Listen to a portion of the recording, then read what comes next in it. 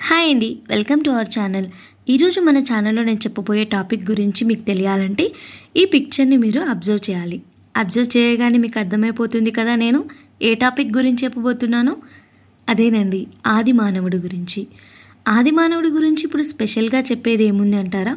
మన exam point of వ్యూలో మన గతాన్ని గురించి మనం తెలుసుకోవడం చాలా ముఖ్యం. మన గతంలో ఉన్న మనిషిని గురించి తెలుసుకోవడం ఆ మనిషి సాధించిన విజయాల గురించి తెలుసుకోవడం అనేది మనకు చాలా ముఖ్యం. ఆ ముఖ్యమైన విషయం కాబట్టి మనం ఈరోజు తెలుసుకోబోతున్నాం. ఈరోజు టాపిక్లో మనం ఏ టాపిక్స్ కవర్ చేస్తామంటే ఆది మానవుడు సంచార జీవన విధానం గడిపేవాడు. అసలు ఆ సంచార జీవన విధానం అంటే ఏంటి? అలాగే ఆహారాన్ని సేకరించుకునేవాడు. ఎందుకంటే ఒక మనిషికి గతంలో అయినా ఇప్పుడైనా ఎప్పటికైనా కనీస అవసరాలు ఆహారం ఆశ్రయం తన రక్షణ. అలాగే ఈ మూడింటి కోసం ఆదిమానవుడు ఏం చేశాడు అనే విషయాల గురించి మనం తెలుసుకుంటాం. అలాగే నిప్పుని ఎందుకు కనుగొన్నాడు? దాన్ని ఎలా ఉపయోగించుకున్నాడు? అలాగే తనకు అనుకూలంగా రాతి పునిముట్లని ఎలా ఉపయోగించాడు? అలాగే వ్యవసాయం ఎలా మొదలుపెట్టాడు? అలాగే నాగరికత ఆవిర్భావానికి ఎలా దారితీసింది ఇలాంటి విషయాలన్నింటి గురించి నేను ఈరోజు వీడియోలో చెప్పబోతున్నాను. లెట్స్ కంటిన్యూ ద వీడియో ఈరోజు మనం ఆది మానవుడి గురించి చెప్పబోతున్నాం.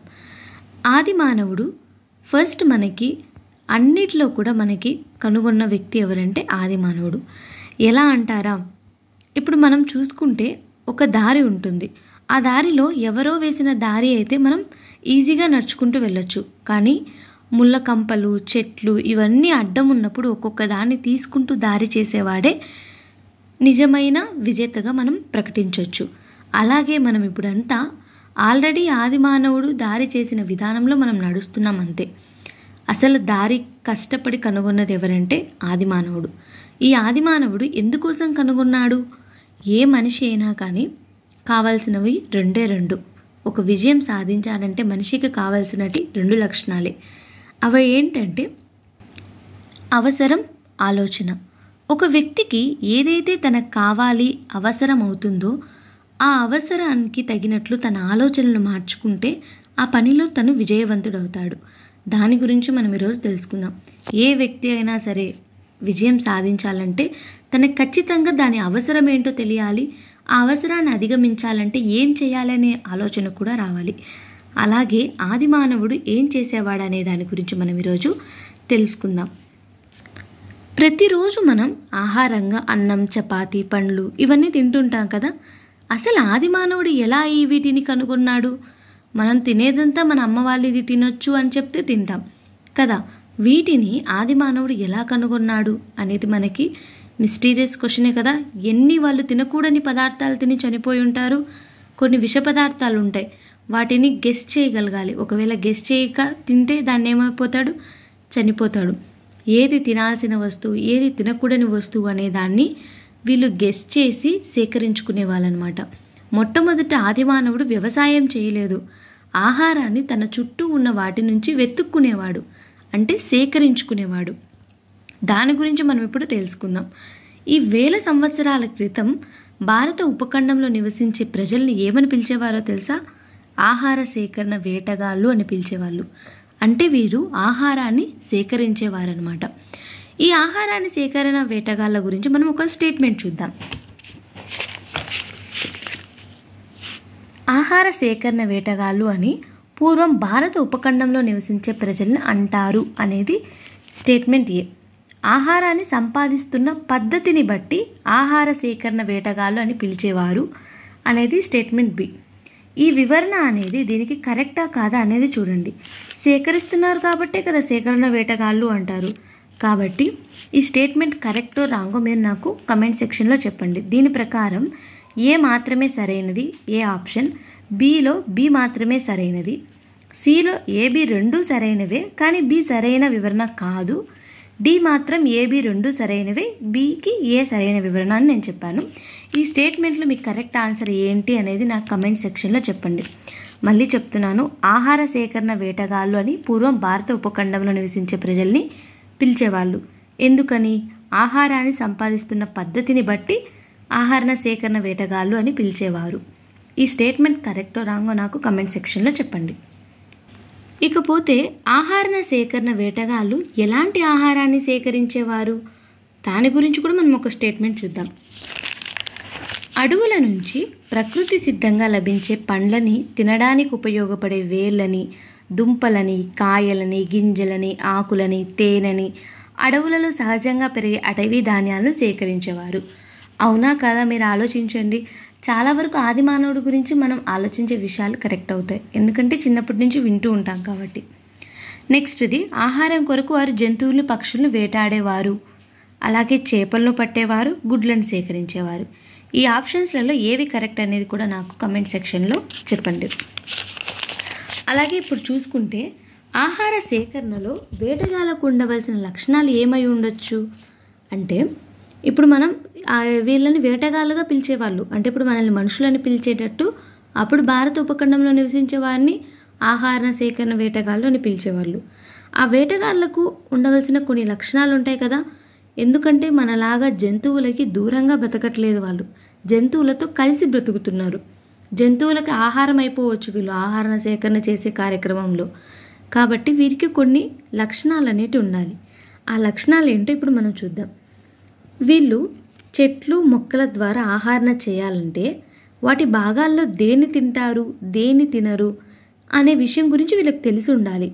లేకపోతే విష పదార్థాలను మనం తీసుకునే ఛాన్సెస్ ఉంటుంది చాలా వరకు మొక్కలలో విష పదార్థాలు ఉంటాయి.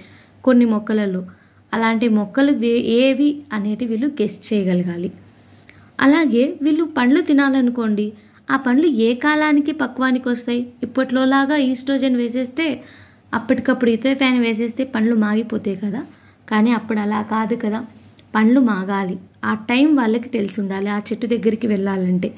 కాబట్టి పండ్లు ఏ కాలానికి పక్వానికి వస్తాయి అనేది తెలిసి ఉండాలి అలాగే వాళ్ళు ఎక్కడైతే వేటాడుతున్నారో ఆ ప్రాంతంలో తిరిగే జంతువుల పక్షుల అలవాట్లు జీవన విధానం తెలిసి ఉండాలి ఫర్ సపోజ్ వాళ్ళు ఉన్న ప్లేస్లో ఒక సింహం కానీ పెద్ద జంతువు ఏదైనా ఉందనుకోండి పర్టికులర్ టైంకి అవి నీటికి రావడం కానీ చెరువు గట్లకు వాటి కోసం రావడం కానీ అలాంటి టైంలలో వీళ్ళు వేట కొనసాగిస్తే వీరే ఆహారం అయిపోతారు. కాబట్టి అక్కడ ఉండే జంతువుల లక్షణాలు వాటి అలవాట్లు జీవన విధానం వీరికి తెలిసి ఉండాలి అలాగే వీరు వేటాడే సమయంలో అప్రమత్తంగా ఉండి చురుకుదనంగా ఏకాగ్రతతో ఉండాలి. ఎందుకంటే వీరికంటే క్రూర స్వభావం ఉన్న జంతువులు ఉంటాయి కాబట్టి జాగ్రత్తగా వీళ్ళు వేటాడగలగాలి. ఇన్ని లక్షణాలు ఉంటేనే వారు వారు జీవించడానికి కావలసిన ఆహారాన్ని వాళ్ళు సేకరించుకోగలరు. అయితే ఈ వేటగాళ్ళు ఈ విషయాలన్నింటినీ ఎలా తెలుసుకుంటారు? అంటే వాళ్ళ ముందు తరాలు ఉంటారు కదా. ఎవరైతే ఆది మానవుల తమ పూర్వీకులు ఉంటారో వాళ్ళ పాటల రూపంలో కథల రూపంలో పద్యాల రూపంలో వారి వారి పిల్లలకి నేర్పించుకునేవారు అనమాట అలాగే వాటిని తెలిపేవారు పిల్లలకి. వాళ్ళ సంతతికి తెలిసే విధంగా పాటలు పద్యాలు వాళ్ళకి నేర్పించేవారు అనమాట అయితే ఆదిమ వాసులు వేటిని దుస్తులుగా ధరించేవారు అంటే మీకు ఇక్కడ కనపడుతుంది. వీళ్ళు ఎక్కువగా వేటిని దుస్తులుగా ధరించారు?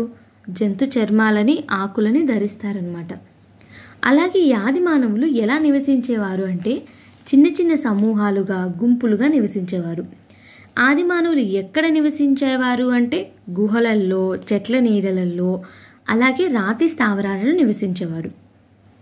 వీళ్ళల్లో మనం ఎవరిని సంచార జీవులు అంటామంటే వీళ్ళు ఆహారం కోసం ఒక ప్లేస్కి వస్తారు ఒక ప్రాంతంలో ఆహారం అయిపోగానే మరొక ప్రాంతానికి వెళ్తారు. వాళ్ళని మనం సంచార జీవులు అంటామన్నమాట. ఇప్పుడు మనం సంచార జీవులకు సంబంధించిన స్టేట్మెంట్ ఒకటి చూద్దాం. ఆది మానవులలో ఆహార సేకరణలో ఎవరు పాల్గొంటారనేది నాకు మీరు గెస్ట్ చేసి చెప్పండి. పురుషులు మాత్రమే పాల్గొంటారా ఆది మానవులలో స్త్రీలు మాత్రమే పాల్గొంటారా? లేక పిల్లలు మాత్రమే పాల్గొంటారా? లేదా ఆహార సేకరణలో పురుషులు స్త్రీలు పిల్లలు ముగ్గురు పాల్గొంటారా? ఈ విషయం నాకు మీరు కమెంట్ సెక్షన్లో చెప్పండి. నేను అక్కడ మీకు ఆన్సర్ ఇస్తాను. అలాగే ఇంకొక స్టేట్మెంట్ చూద్దాం మనము. దీని ఆన్సర్ నాకు ఖచ్చితంగా మెన్షన్ చేయండి. ఆదిమవాసి ప్రజలు ఎలాంటి అంటే ముగ్గురు వేటాడే స్వభావం ఉంటారా? లేదా ఎవరో ఒక్కరే ఉంటారా? అనేది నాకు చెప్పండి. ఇప్పుడు మనం ఆదిమవాసి జీవి సంచార జీవడానికి గడపడానికి గల కారణాలు తెలుసుకుందాం. ఒక ప్రాంతంలో మొక్కల ద్వారా జంతువుల ద్వారా లభించే ఆహారం అయిపోయేంత వరకు అక్కడే ఉండి తర్వాత ఆహారం కోసం మరొక ప్రాంతానికి వెళ్తారు. సంచార జీవుల లక్షణాలు చెప్తున్నాను చూడండి. ఆహారం కోసం ఒక ప్రాంతం నుండి మరొక ప్రాంతానికి వెళ్తారు. స్టేట్మెంట్ కరెక్టా రాంగా చూడండి. మనిషి బ్రతికేదే ఆహారం తినడం కోసం కాబట్టి అప్పుడు మనిషి ఖచ్చితంగా వెళ్తాడు. ఇంకొకటి వివిధ కారణాల వల్ల జంతువులు అంటే జంతువులు వాటి ప్రత్యుత్పత్తి కోసం కానీ లేదా అవి స్థలాలు మారుతూ ఉంటాయి. వాటికి ముందే సిగ్నల్స్ వస్తాయి ప్రకృతిలో ఏదైనా జరిగితే. కాబట్టి అవి ఒక ప్రాంతం నుండి మరొక ప్రాంతానికి వలస వెళ్ళిపోయినప్పుడు ఆహార అన్వేషణలో భాగంగా ఆదిమానవుడు కూడా వాటిని వేటాడడం కోసం వెళ్తాడు. ఈ స్టేట్మెంట్ కరెక్టా రాంగా నాకు చెప్పండి.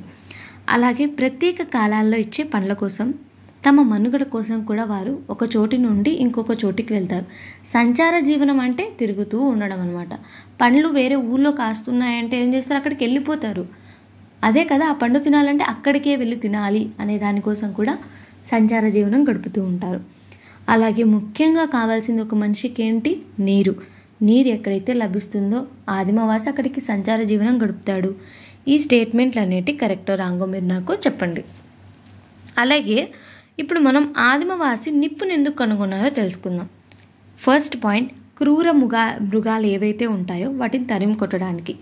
సింహం పులి లాంటి వాటిని అవి వచ్చి వీళ్ళని తినకుండా వాటిని బెదిరించడానికి. ఎందుకంటే అవి భయపడతాయనే విషయం తెలుసుకున్నారు. కాబట్టి వాటిని బెదిరించడం కోసం నిప్పును కనుగొన్నారు. నిప్పుడు ఉపయోగించుకున్నారు. అలాగే తాము నివసించే గుహలలో అంటే గుహలు ఇప్పుడు బిల్డింగ్స్ ఉన్నాయి కానీ అప్పుడు లేవు కదా గుహలలో వేడిని వెలుగుని నింపడం కోసం కూడా వాడుకునేవారు. అలాగే చెక్కను గట్టిపరిచి ఉపయోగించడం కోసం కూడా వాడుకునేవాళ్ళు. అలాగే వీళ్ళు నిప్పుని పవిత్రంగా భావించేవారు. ఎందుకంటే వాళ్ళ ప్రాణాలను కాపాడుతుంది అలాగే తినడానికి ఆహారం టేస్టీగా ఉండడానికి ఉపయోగపడుతుంది. కాబట్టి వీరు ఏం చేసేవారంటే నిప్పుని పవిత్రంగా భావించేవారనమాట ఆదిమ మానవుల గురించి మనం ఎలా తెలుసుకుంటామంటే పురావస్తు తవ్వకాలలో లభించిన పనిముట్ల ద్వారా మనం తెలుసుకుంటామంట. ఇప్పుడు మీకు ఇక్కడ కనిపిస్తున్నాయి కదా ఇవి ప్రాచీన రాతి పనిముట్లు. ఇవి చాలా సంవత్సరాల క్రితం తయారు చేసినవి. ఇవి తర్వాత కాలంలో తయారు చేసినవి. అలాగే ఇవి పదివేల సంవత్సరాల క్రితం తయారు చేసినవి. ఇవి రాతి పనిముట్లుగా ఉపయోగించిన గులకరాలు అనమాట ఇలాంటి వాటి వల్ల మనం అప్పటి పరిస్థితుల గురించి మనం తెలుసుకోవచ్చు. అయితే ఆది మానవులు ఎలాంటి పనిముట్లను విస్తృతంగా ఉపయోగించే వాళ్ళంటే రాళ్ళతోనూ కర్రలతోనూ ఎముకలతోనూ తయారు చేసిన పనిముట్లని వాళ్ళు ఉపయోగించుకునేవారనమాట అలాగే ఆది మానవులు పనిముట్లని ఎందుకోసం ఉపయోగించు అంటే ఇప్పుడు తయారు చేసుకున్నారు కరెక్టే. వీటిని ఎందుకోసం వాడేవాళ్ళు? జంతువుల చర్మాన్ని తీయడానికి చర్మం శుభ్రం చేయడానికి వాడేవాళ్ళు అనమాట అయితే రాతి పనిముట్లను ఆది మానవులు ఎందుకోసం ఉపయోగించేవారో తెలుసా? జంతువుల మాంసం ఎముకలు కోయడానికి భూమిలో నుంచి ఆహారంగా ఉపయోగించే దుంపలు వేర్లు లోపల ఉండిపోతాయి కదా. ఈ పొటాటో కానీ చిలకడ దుంపలు కానీ ఇవన్నీ భూమి లోపల ఉంటాయి కదా. వాటిని తవ్వి తీయడం కోసం కూడా ఈ రాతి పనిముట్లని వాడేవాళ్ళు. అలాగే జంతువుల వేట కోసం ఏమి ఉపయోగించేవాళ్ళంటే వీళ్ళు ధనస్సు విల్లు ఉంటుంది కదా. విల్లు అంబు బాణం అవి వాటిని ఉపయోగించేవాళ్ళు. అలాగే పురావస్తు శాస్త్రవేత్తలు ఏ జిల్లాలోని గుహలలో రాతి పనిముట్లు కనుగొన్నారంటే కర్నూలు జిల్లా అనమాట అలాగే భారత ఉపఖండంలో మనకి ఎక్కడా లభించని ఎముకలతో చేసిన పనిముట్లు ఎక్కడ లభించాయంటే కర్నూలు జిల్లాలోని బేతంచెల్ల బనగానపల్లెంలో లభించాయి. అలాగే ఆది మానవులు ఎక్కడెక్కడ నివసించే వాళ్ళంటే గుహలలో రాతి స్థావరాలలో నివసించేవారు. వీరు గోడలపైన ఇలా మీకు కనిపిస్తుంది కదా ఇలా చిత్రాలు వేసేవారు అనమాట ఈ చిత్రాలు వేయడానికి ఆ రంగు ఎలా వస్తుందంటే వీళ్ళకి ఈ జంతువులను వారు అవి ఉంటాయి కదా కొన్ని రకాల రంగు రాళ్ళను పిండి చేసి జంతువుల కొవ్వు కలిపి తయారు చేసేవాళ్ళు అనమాట ఏమేం వేసేవాళ్ళు అంటే ఆది మానవులు జంతువులు వారు వేటాడే సంఘటనలు వేసేవాళ్ళు. ఎందుకంటే మేబీ వాళ్ళ పిల్లలకి చెప్పడం కోసం బొమ్మల రూపంలో వేసి చూపించే వాళ్ళేమో ఇలా చేయాలి అని చెప్పడం కోసం ఏమైనా వేసి ఉండవచ్చు ఇలా మనకి వేస్తుంటాయన్నమాట వీటికి చిత్రించడానికి వేటిని వాడేవాళ్ళంటే వెదురు కంచె కుంచె ఉంటుంది కదా వేయడానికి. వెదురు కుంచెని వాడేయాలంట. ఇప్పుడు మీరు ఈ స్టేట్మెంట్ ఒకటి చూడండి.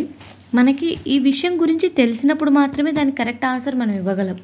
ఈ చింతకుంట గ్రామం ఉంది కదా దానికి సంబంధించిన స్టేట్మెంట్స్ ఇక్కడ ఇవి ఇచ్చినప్పుడు ఇవి కరెక్టా రాంగా తెలియాలంటే దాని మ్యాటర్ మనకు తెలిసి ఉండాలి ఈ చింతకుంట గ్రామం ముద్దనూరు మండలం వైఎస్ఆర్ జిల్లాలో ఎన్ని ఉన్నాయంటే పది రాతి స్థావరాలు ఉన్నాయి. వీటిలో ఆదిమానవుడు గీసిన చిత్రాలను కూడా కనుగొన్నారు. అలాగే ఇక్కడ ఎరుపు తెలుపు రంగులలో మీకు కనిపిస్తున్నాయి కదా ఎరుపు తెలుపు రంగులలో రెండు వందల పైగా చిత్రాలు ఉన్నాయి వాటిలో పది మాత్రమే తెలుపు మిగతా అన్ని ఎరుపు రంగులు ఉన్నాయి. ఎరుపు రంగు చిత్రాలలో ఉన్న మూపురం ఎద్దు ఒకే ఒక గుహలో ఉంది. మీకు కనిపిస్తుంది కదా ఇక్కడ మూపురం ఉన్న ఎద్దు ఒకే ఒక గుహలో కనిపించింది అనమాట ఆ గుహను స్థానికంగా ఎద్దులు ఆవుల గుంపని పిలిచేవాళ్ళు. మిగిలిన రాళ్ళపై జింక దుప్పి నక్క కుందేలు పక్షులు మానవులు ఇలాంటి చిత్రాలన్నీ ఉన్నాయన్నమాట. వీటన్నింటికి కూడా మనం ఇప్పుడు ఏవైతే బోర్డు ఉపయోగించి మనం మన పిల్లలకు చెప్పుకుంటున్నామో అలాగే వీళ్ళు కూడా మేబీ బొమ్మలు వేసి చూపించి వాళ్ళ పిల్లలకి నెక్స్ట్ జనరేషన్కి చెప్పుకునే వాళ్ళేమో. ఇలా ఉండే వాటి జోలికి వెళ్ళొద్దు లేదా ఇలా వేటాడాలి అనే విషయాలను వాళ్ళు చెప్పుకునేది అందులో ఉందన్నమాట. నెక్స్ట్ మనం చూసుకుంటే ఆహార సేకరణ అయిపోయింది కదా. కొన్ని రోజులు సేకరించే వాళ్ళు అలాగే వీళ్ళు సేకరిస్తున్నంత వరకు ఏమైందంటే సంచార జీవనం గడిపేవాళ్ళు. అంటే ఒక చోటు నుంచి ఇంకొక చోటికి వెళ్ళి అలా సంచార జీవనం గడుపుతూ ఉండేవాళ్ళు.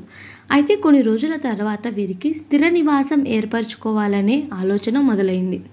అది ఎందుకు మొదలైందంటే పన్నెండు వేల సంవత్సరాల క్రితం ప్రపంచ వాతావరణంలో గొప్ప మార్పులు సంభవించాయి. అంటే ఇప్పుడు మనకి కరోనా ఎలాగో కరోనా వచ్చిన తర్వాత మనిషి ఆలోచనలో మార్పు వచ్చింది కదా.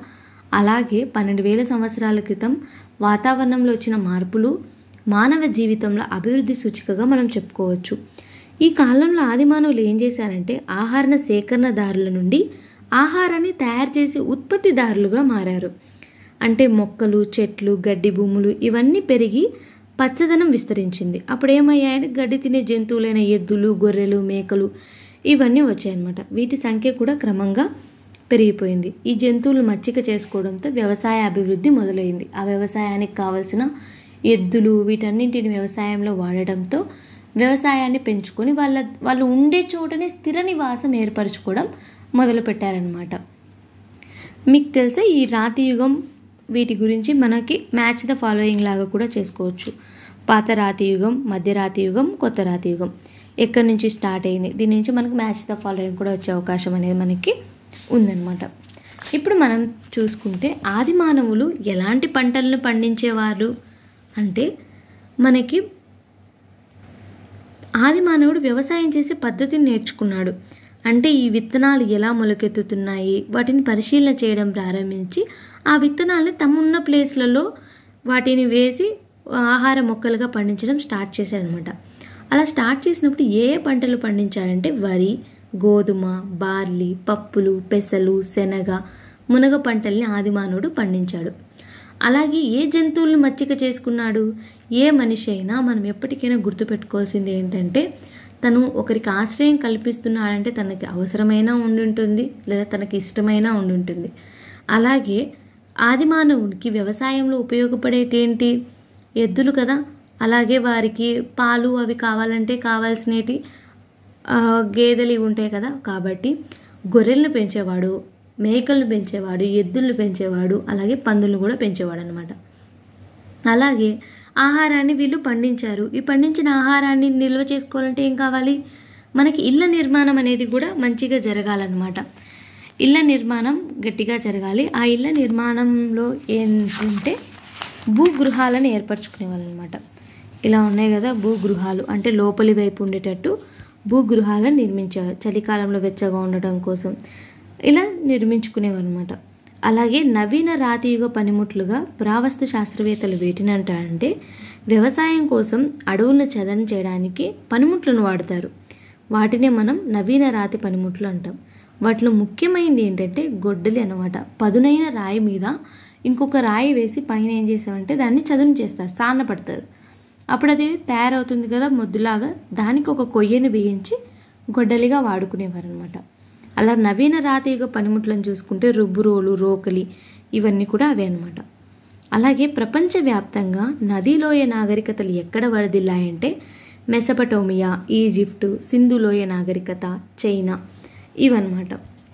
ఇక్కడి నుంచి మనకేమవుతుందంటే ఆదిమ మానవుడు కొద్ది కొద్దిగా తన సుఖ జీవనం కోసం తన సౌకర్యంగా ఉండడం కోసం ఒక్కొక్క దాన్ని ఆవిర్భవించడం అంటే కనుగొనడం జరుగుతుంది. నిప్పుని ఎలా అయితే తన అవసరం కోసం కనుగొన్నాడో అలాగే ఇప్పటికీ కూడా మనిషి అనేవాడు తన అవసరాల కోసం తను శ్రమపడకుండా ఉండే విధానాన్ని తగ్గించుకోవడం కోసం కొత్త కొత్త వస్తువులని కనుగొంటూనే ఉన్నాడు కనుగొంటాడు. కాబట్టి ఒక వ్యక్తికి ఏం అవసరం అంటే ముఖ్యంగా గుర్తుపెట్టుకోండి తనకి అవకాశం కాదు ముఖ్యం. అవసరం. అవసరం ఉంటే ఖచ్చితంగా మనం అవసరం కోసం మనం పాటుపడతాం అలాగే మనకి ఈ జాబ్ అనేది మనకు అవసరం అని మనసు కనిపిస్తే మనం దీని గురించి ఖచ్చితంగా కష్టపడతాం. కష్టపడినప్పుడు మనకు ఖచ్చితంగా ఫలితం దక్కుతుంది. కాబట్టి ఈ వీడియో మీకు నచ్చిందని అనుకుంటున్నాను. వీడియో నచ్చినట్లయితే లైక్ చేయండి షేర్ చేయండి కమెంట్ చేయండి సబ్స్క్రైబ్ చేసుకోండి. నెక్స్ట్ టాపిక్ మనం నాగరికతల గురించి తెలుసుకుంటాం.